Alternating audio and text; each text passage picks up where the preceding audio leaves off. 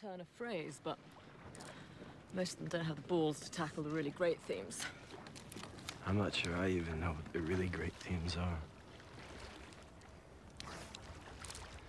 Abandonment, loss, castration. well, it's never going to be one of my problems, thankfully.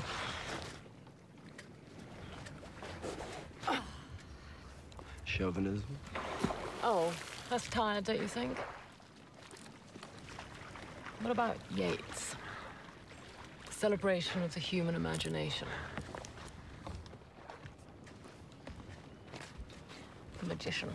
Melancholy. It's all melancholic. The room swinging with emptiness, like an unswung bell. Valentin Iremonger. I think they're really great ones use words in such a way you can never take them back. Yeah, they do. To separate from life, from tantalizing mysteries and salt spray, from the grave gypsy eyes,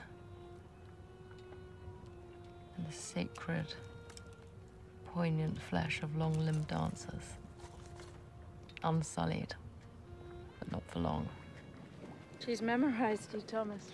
I stole poignant flesh from Rich. I don't remember saying that. You were drunk. I don't think I'd ever use that word. Mm, that's so like you, Rich. You probably read more than anybody I've ever met, but you always pretend you'd rather be drinking beer at a Red Sox game. Well, it depends on who's pitching.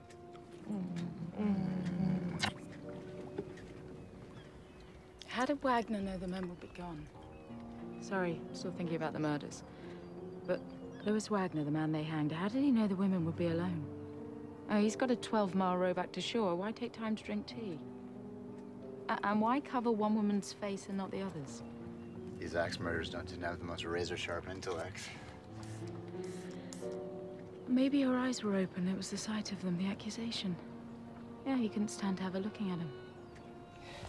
So an act of passion. Using an axe requires intimacy. Think about how close you have to be to your victim.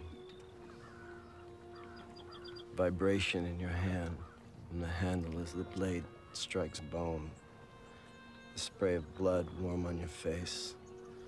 And standing over her, her last choking gasps. If he'd gone there with the intent to murder, he would have taken a gun. I think the killer was in love with one of the women. The murder was the only way he could possess her. I like that.